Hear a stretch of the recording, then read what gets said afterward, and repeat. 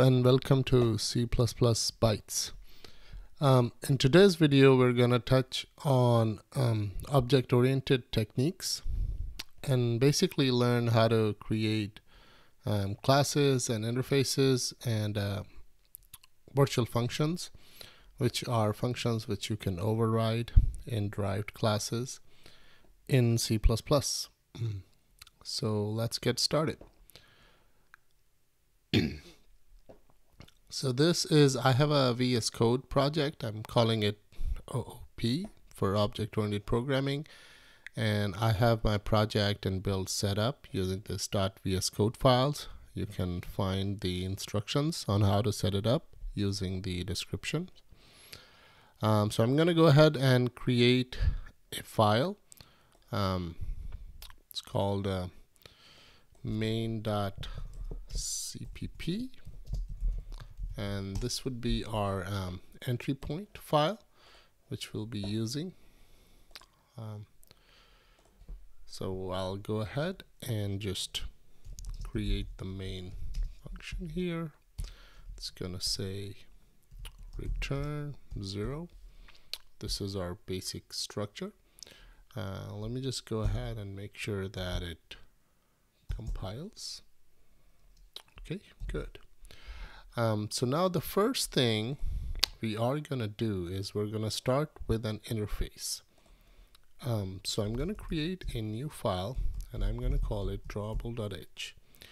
Um, so this is what I'm creating is a an object-oriented design for let's say a graphics program um, or you know or something which can represent geometry objects. So you would have an interface called drawable, which is something that could be drawn, and then you can have a shape, um, which can also be drawn, for example, and then you can have a more specific shape, for example, a polygon or a square, which is a shape and also draws. And then there's some basic you know requirement for the drawable interface. And then as we would add uh, more you know inheritance we would add more you know specific methods. And then you'll see how you do that in C++ so let's start with drawable. This is a header file so um, there's no interface keyword in C++ so if you want to have an interface um, basically, it's a class, um, you know, which becomes an interface for you. So I'm gonna start showing how you would create a class here.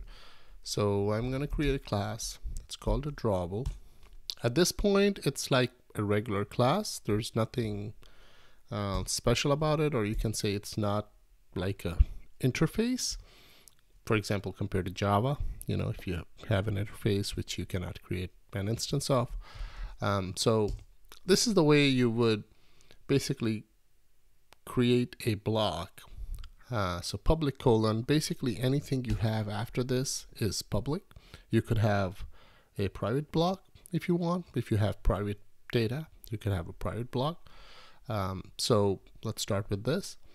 And um, I'm not creating a constructor here for drawable, uh, but you know, compiler will add a default one for me. Uh, so I'm going to ignore that. And let's say we are going to have just one method, which is called void draw. Um, so we want anyone who implements drawable interface to be able to draw themselves. That's what a drawable is. And the way you make this uh, like abstract method is you add the virtual keyword and then you say equals to zero. What this does is equals to zero basically means that there's no base implementation for this method. So drawable at this point becomes an abstract base class. Um, you could call it an interface if it doesn't have any other behavior or data. um, you know, and it's just like an interface. You could call it an interface, but that's what it is.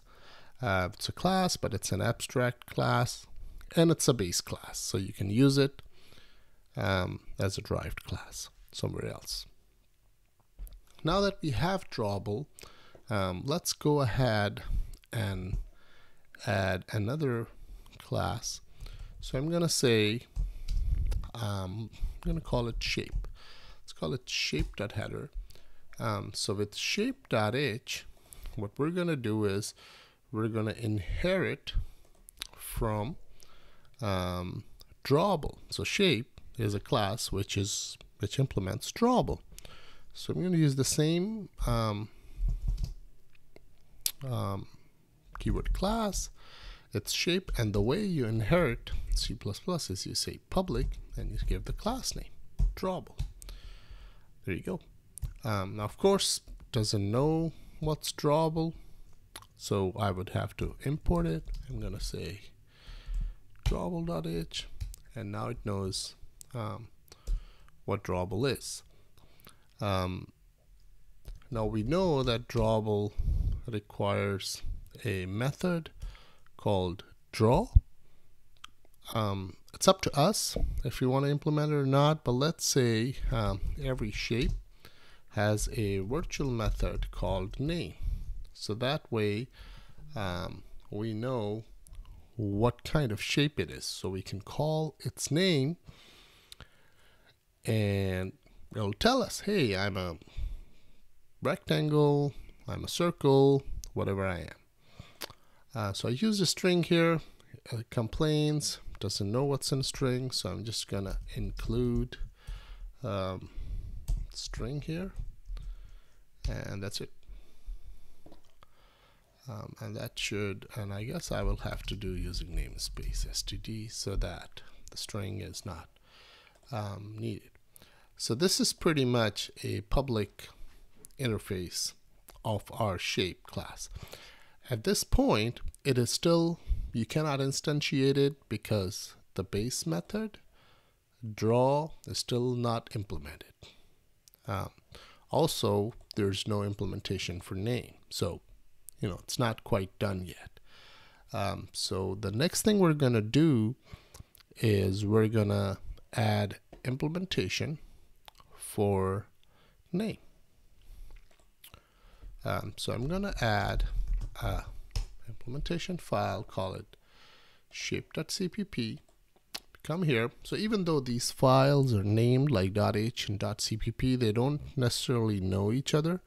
Um, so you do have to import shape.h here. And so we know that we have one method which is called uh, name um, and it's a virtual method so we don't have to type the virtual keyword in the implementation. What we can do is we can specify the return type it's a string and the method is called name and here's the body.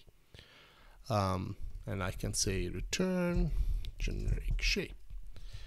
Um, however in order to make it a class method uh, I, I have to give the class name and this colon colon.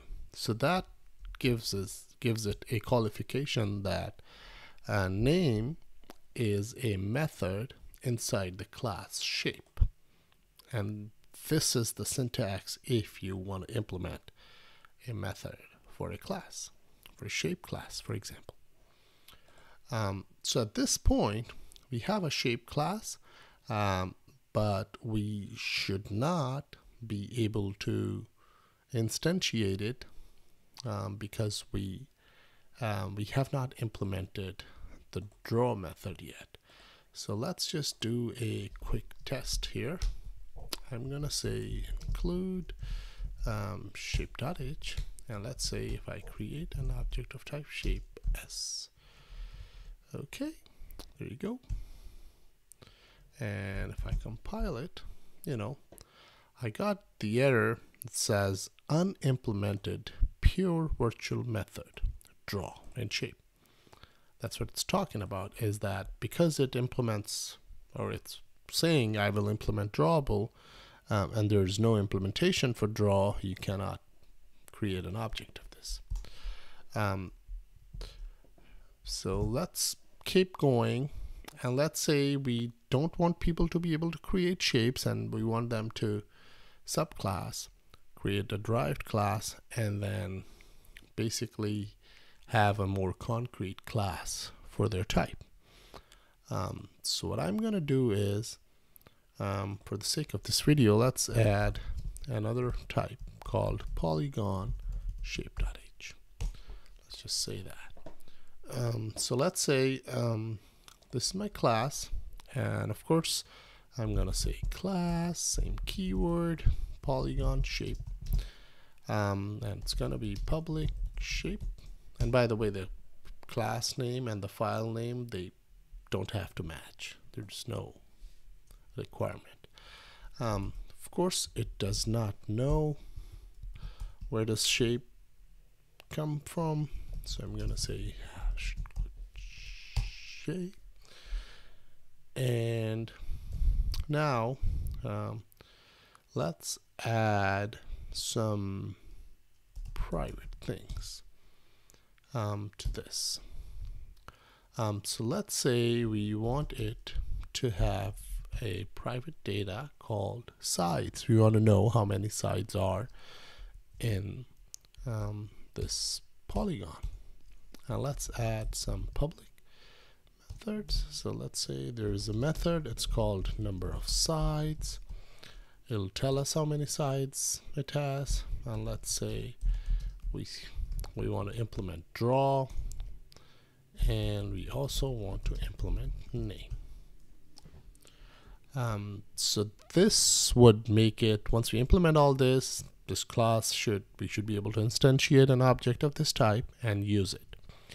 Um, another thing I want to show here is I mentioned that you get a default constructor uh, but let's say um, I want to have another constructor in which you have to specify the number of sides your polygon has so what I'll do is I'll just add a method which is the same as the class name and this becomes the constructor so now we have a constructor which takes an integer. So you can create this class and specify um, the size as a parameter. So now that we have the header file done, let's go ahead and create the implementation. Um, so I'm gonna go to the CPP file and as always I'm gonna include the header file so we know and let's first go ahead and implement our constructor because um, that's kind of something important. And what I'll do is I'll do sides is equal to num sides. This was the member variable um, which I'm using. So if you create an object, you specify sides, we save it. Um, and let's say we had a method called number of sides and we'll just return the sides over here. We also have to do um, the name because we want to specify. Let's say polygon shape.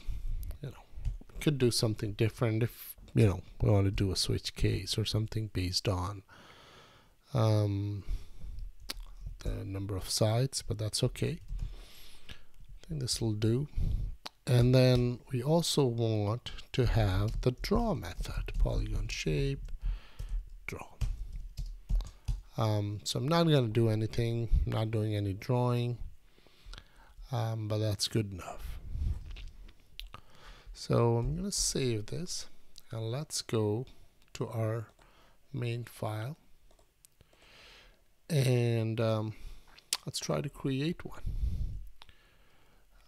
so I'm gonna instead of including shape I'm gonna include polygon shape dot h here. So let's go ahead and start using the polygon shape class.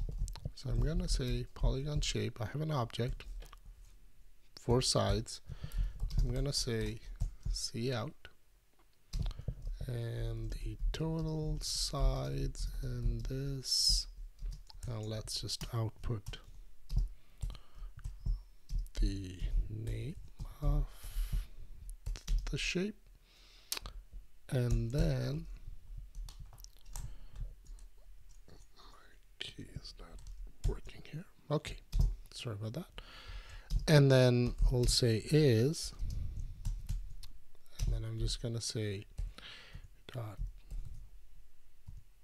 number of sides and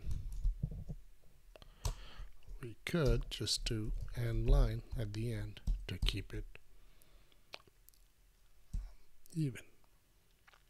Okay so let's go ahead and try to build this. And I got this error. This is most likely if you get this error um, the files it's basically saying I don't know the implementation. Where's the implementation of this? And the way C++ works is it tries to take all the files and then compile them.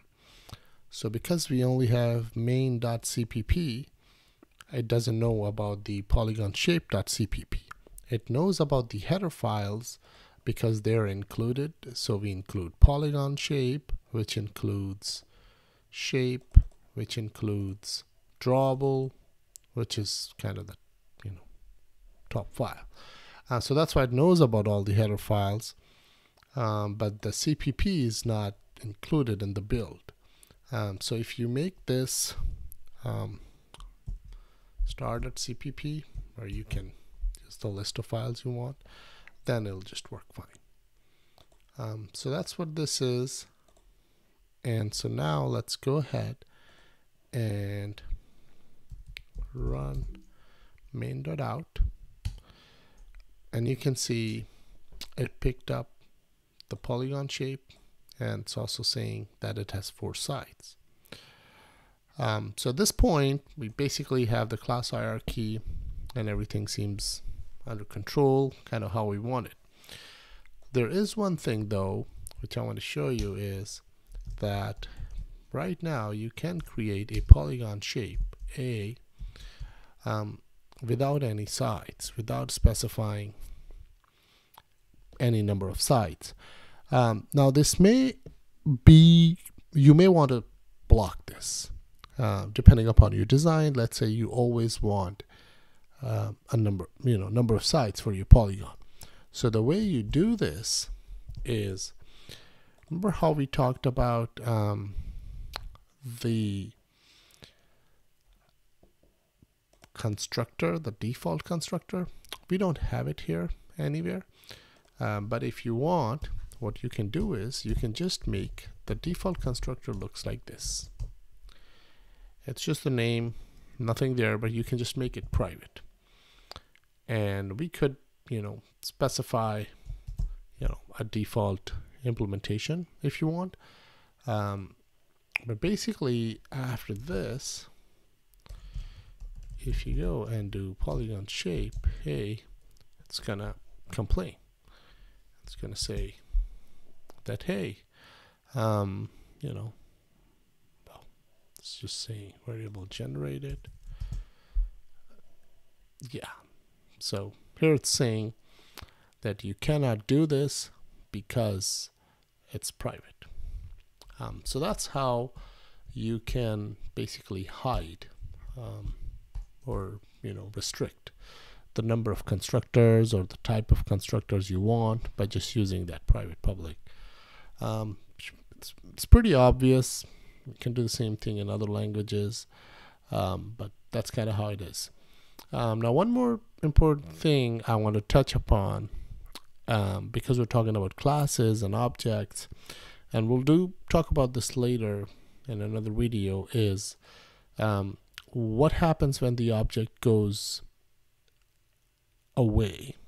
Um, um, so let's not talk about whether it's uh, dynamically allocated or it's on the stack or pointer or whatnot. But let's just say when your object is you know, destructed. However, that happens. Like if you want to get involved how do you do that? Um, so the way you basically do that is um, you can start from the top if you want and let's just um, you know add one here. So let's say you have drawable and you say see out and drawable deleted. Um, so this little tilde which you saw is essentially a special reserved keyword um, for um, for a destructor which gets called at the end right when your you know your object is being taken out. Um, the runtime will do it for you. Um, you can try to do the same thing for shape so I go to shape here. And let's say I do tilde shape right here.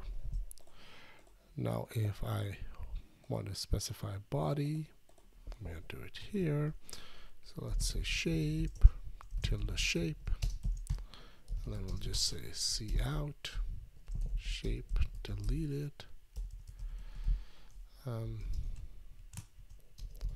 and then line let's just import because probably doesn't know. Um, stream and I'll do using namespace std. Um, now the same thing we can do for the polygon shape. So we're basically covering each one of them. Um, so let's say I do polygon shape. And we can do the same thing in our destructor here. So, and by the way, just like constructor, there is no return type for the destructor because um, you know it doesn't return anything. It's just giving you an opportunity to clean up. Um, so I'm gonna do this and it says I don't know this so I'm gonna end line. Okay and I have a problem with the drawable so let me go there. First let me fix this. Using namespace std and may have to do the same thing in drawable and so okay so the build finished. And now if I run the program you can see how they got deleted. You we got all this um, you know all of them got called. Um, if you want to see a more controlled um, creation, um, what you can do is you can put this inside curly braces and then so that way you can control kind of um, when they are cleaned up. Uh, this is right now happening at the end of the program pretty much kind of when main is out of scope so let's run this. And so if we run it again now you can see that our code ran and then the object got deleted and then we got done. Um, now in case you do not know this is the way it's working is and we'll talk more about this in our next video when we talk about memory management and object lifecycle. Basically when you use the syntax, you are creating an object on the stack. So the stack, each method has a, its own stack where the parameters are pushed, and you can read more about it. Um, but basically, um, that is where this object is. and it's defined by this you know lexical scope of these curly braces right now. Uh, so once we go out of the scope, that object gets cleaned up. If you were to do it two times, it will create two objects. You know, first we'll create first, then we'll remove it, then we'll create another one, and then we'll remove it. Um, so that's how it's working. This is not dynamic allocation. We're just creating on the stack and we're popping it off. Um, once we talk about pointers and dynamic allocation, then there's a little bit of difference in how the constructors behave and how we want to make sure the right thing gets called. Um, but in this case, because they're not necessarily um, pointers, it's all it's all working it's all working okay. Um, so that's it. I just wanted to cover the destructor. We'll talk more about it in detail. This is not the final way you want to do this, uh, but you know, just wanted to show it in this video. Thank you very much. See you next time.